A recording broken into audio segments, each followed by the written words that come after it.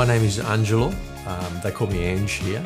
I teach accounting in the diplomas Monash College. Uh, I grew up in East Coburg. The thing I love about that area is that it's uh, very diverse, uh, made up of heaps of different cultures, very gritty area.